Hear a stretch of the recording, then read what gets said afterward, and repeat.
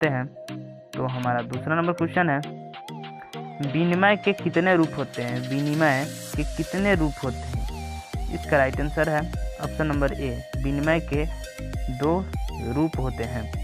चलिए, तीसरे